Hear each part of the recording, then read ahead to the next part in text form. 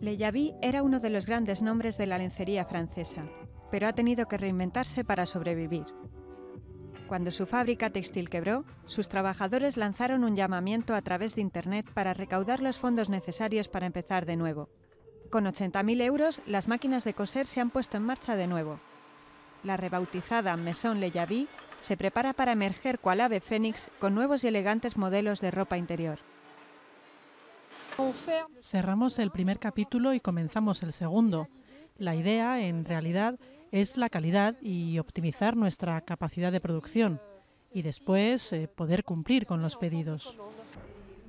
En su showroom de París, Maison Le Javis espera desencadenar un renacimiento en la calidad de los métodos manufactureros en Francia. Todas sus creaciones están hechas exclusivamente con materiales franceses, como seda de Lyon y encaje de Calais.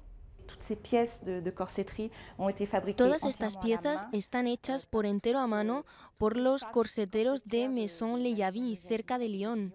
Es muy emocionante e importante.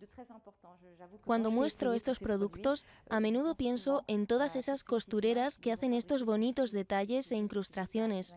Eso es muy importante, son obras de arte. La compañía ha conseguido conservar a cerca de la mitad de los empleados de la marca original Le todo un emblema de la seducción. La compañía había perdido el 60% de su clientela en tres años. Ahora estamos en proceso de recuperar a nuestros clientes principales uno por uno.